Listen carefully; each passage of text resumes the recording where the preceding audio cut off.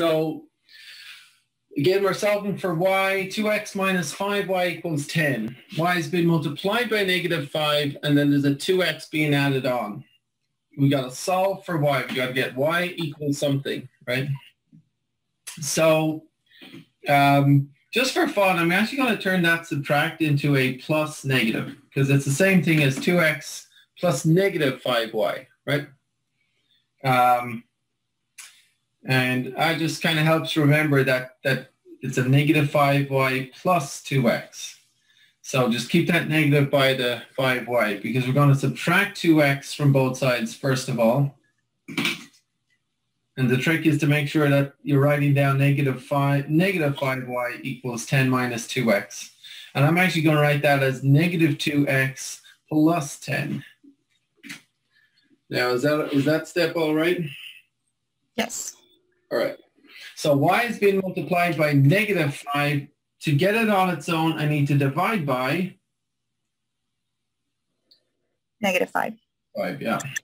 And if I divide that guy by negative 5, I need to divide everything by negative 5. Everything by negative 5. So that gives us negative over negative, positive. 5 5 is 1, so 1y or y equals negative over negative positive, 2 over 5, 2 fifths x. Or you could write 2x over 5, but it's the same thing. 2x over 5, 2 fifths x, same thing and then plus 10 over negative 5. That's a positive over a negative. That makes it negative 10 over 5, 2. So, any questions up to here? Nope. That's kind of the hard part, although now we've got to graph it.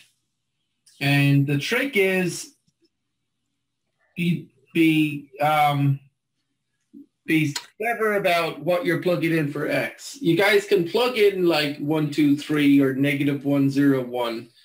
Um, let's definitely plug in zero. Always plug in zero. That that always works out, and that gives us the y-intercept. So let's just start with that. If we plug zero in, we get two fifths times zero minus two. So we just do that one first.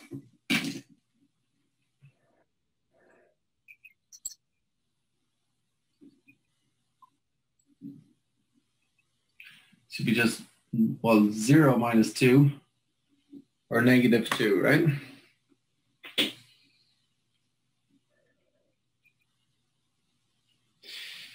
And the question actually is, well, what, what are some clever things we could plug in to make it all work out neatly so that we're not dealing with fractions? So that is the trick, and a lot of students uh, will get stuck on this part, and that's okay. That's to be expected. So, so the trick is, okay, like, what can I plug in so that when I multiply it by fifths, I end up with nice numbers? And the, the answer kind of is, well, multiples of 5. So like 5, 10, 15, negative 5, that type of thing, right? Um, so I'm just going to suggest like 5 and 10 because they're multiples of 5. And as you work it out, you'll notice that you'll get whole numbers in the end or integers, right? Um, negative 5 would also be a good one. If we plug in 5 and 10 and then multiply 2 fifths times 5 there's a couple of ways of doing that, by the way. 2 fifths times 5. You can write that as 5 over 1, and then the 5's cross cancel, and we're just left with 2. Or, um, or it could be, okay, 2 fifths times 5. Uh, 2 times 5 is 10. 10 over 5 gives 2, right? So I'm just going to do it that way. I think students might like to see it. I don't know. 2 times 5. So I have a 10 over 5 minus 2, which gives us 2 minus 2, which is, um, put a piece of paper under here, which is 0.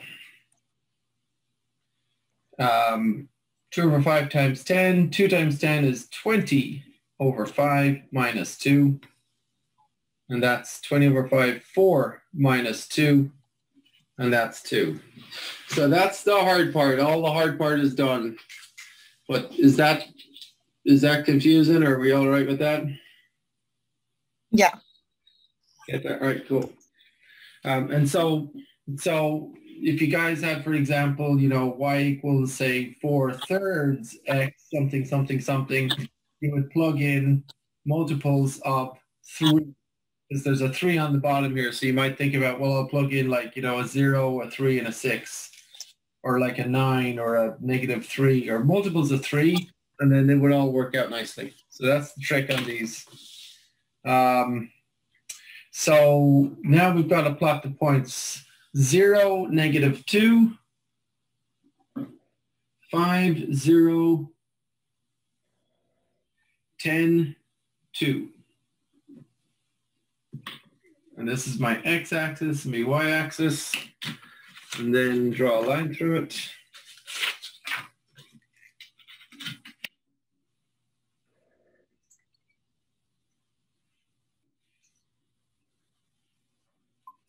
And then on that line, let's just double check the slope of the y-intercept. We'll notice that the line hits the y-axis at negative 2. So that is your b, your slope.